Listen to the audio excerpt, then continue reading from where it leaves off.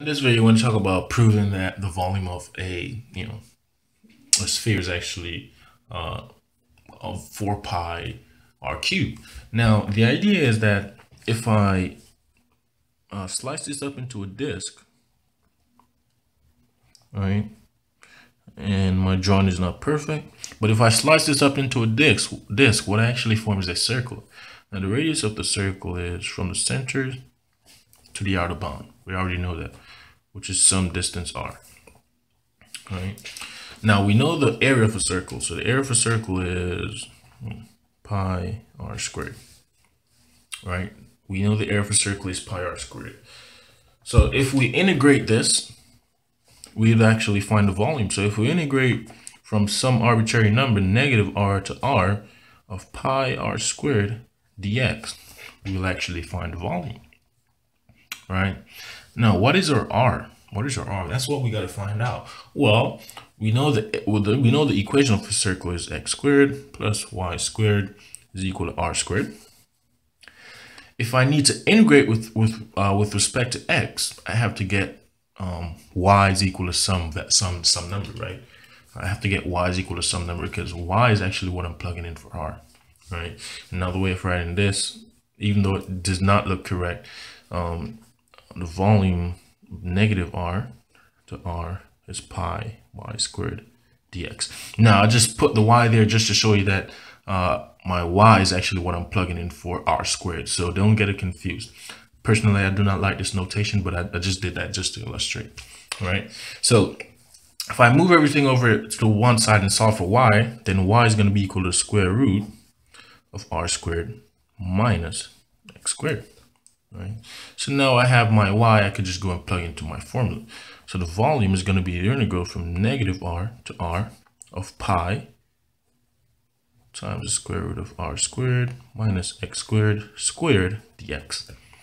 Now, we know about uh, math, we know that the square root and the square term gets canceled, so the volume is going to be equal from negative r to r of pi r squared minus pi x squared dx. And all I did was just uh, uh, distribute my pi. Now, I could just go ahead and take the integral of this. I could go ahead and take the integral of this, right? So if I integrate this, the integral of pi r squared, a uh, pi r squared is just pi r squared x minus the integral of uh, pi r uh, pi x squared. That is just one third pi x cubed. And this will be all integrated from negative r to r. Now this being said, I could go ahead and factor out my pi. So if I factor out my pi, this becomes r x squared minus, and I'm gonna put my, I put my three over the, the, the pi x squared just to make it a little bit more clean. So this becomes pi, uh, not pi, but x cubed over three. All right, all integrated from negative r to r. All right. So that being said, I could just go ahead and plug and chug. So start plugging in numbers. This becomes pi multiplied by this whole thing here. So this becomes uh, r squared times r minus r cubed over 3. All right. And this is minus r squared times negative r minus negative r cubed over 3. All right.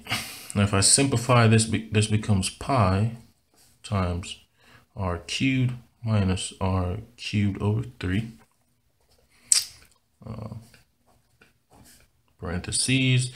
This becomes negative r uh, cubed plus, well, because a negative, uh, a negative cubed is just a negative. Well, a negative times a negative is a plus. So that's r cubed over 3. All right. Now, if I find common denominators, I multiply this by 3 and then multiply this by 3. This becomes pi times uh, 3r cubed minus r cubed over 3. Now, if we distribute my negative, if I distribute my negative, this becomes um, plus r cubed minus r cubed over 3. All right.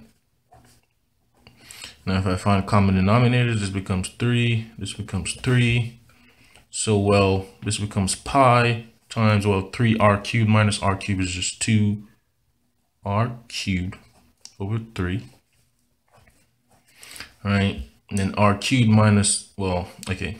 So, well, 3r cubed minus um, r cubed is just 2 pi, uh, just, just 2r cubed. So this becomes plus 2r cubed over 3.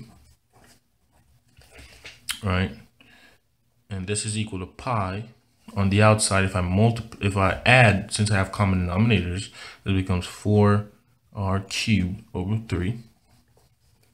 All right.